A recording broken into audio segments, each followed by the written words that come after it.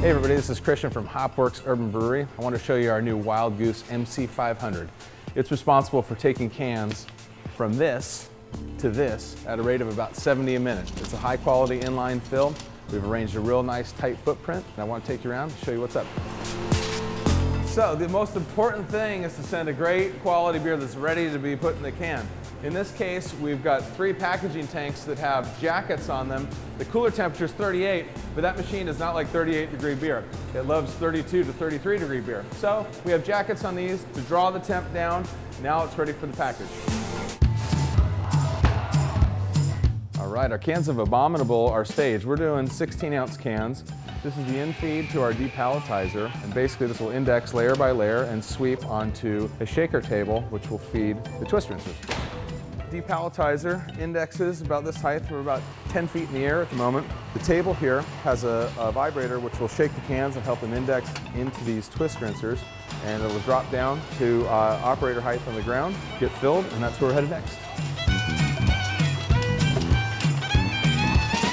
So the cans are coming down from the twist rinser, getting rinsed four at a time. When they hit this lower conveyor, these fill tubes will then fill the can from the bottom up. And it rolls here to this little lifter table.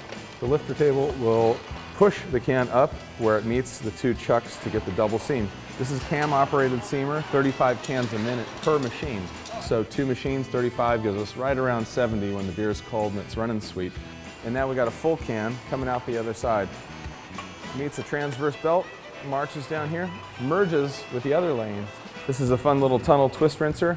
All this incising on the end of the can here can be potential uh, points for corrosion or erosion. So you want to avoid that at all costs. You don't want any spent beer on top of the can, otherwise you might uh, have some problems in storage.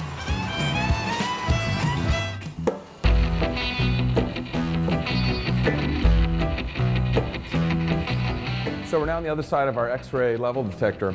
Say this one's uh, a couple mils low, it'll get shot out onto this table, and that's usually employee beer. For us as uh, brewers, we want to get high yield. If you can get somewhere in the neighborhood of you know less than 5% rejection, you're running really, really sweet. Beer's cold and everything's working properly. 492. So this fantastic machine is known as the CC120. It'll handle 120 cans a minute while it applies these four pack holders. This machine's made in Eugene, Oregon. The ringers are made in Eugene, Oregon at a 99% post-consumer recycled material. We'll stack them nine high, 72 cases per pallet. You can see the different flavors we got going. Abominable Abominables, quarterly seasonal, lager year round, IPA year round. Hopefully, if everything's running great, you're getting 150 cases an hour of beer that's extremely high quality and something you can be proud of. The layout's tight, no utilities on the ground, everything's overhead.